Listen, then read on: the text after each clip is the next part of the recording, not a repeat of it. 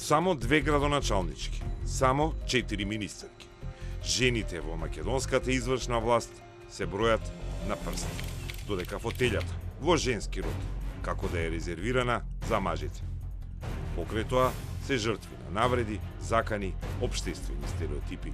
Имало и закани од, од, да, од типот а, престани веќе да да лаеш, да да се мешаш таму кај што не ти е местото.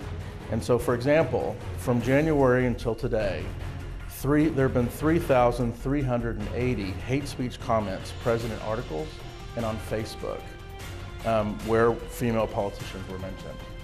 Во код и за успехот на Бермуди во македонскиот економско-финансиски крвоток. Како Русија и Кина станаа главни инвеститори на Балканот и какви ризици влечат непроверувањето на странските инвестиции и јавните набавки без заштита од непријателско влијание.